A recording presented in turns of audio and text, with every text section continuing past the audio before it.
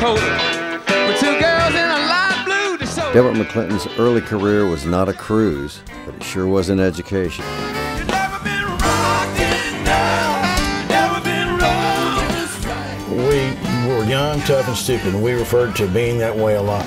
You know I never treat you wrong, and that's the truth. Babe, I never tell you a lie. I was making about $750 a night to pay for me, four other people, hotels, and gas. Somebody.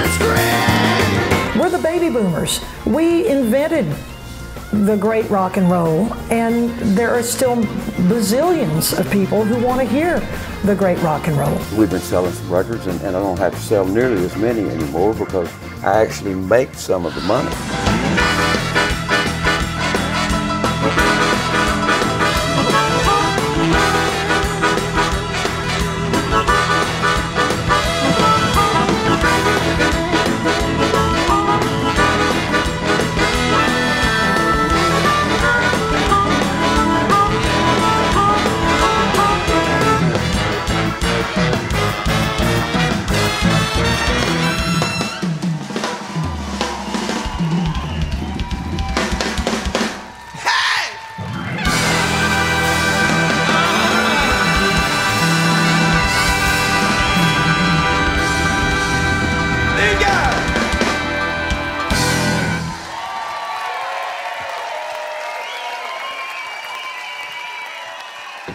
Mm.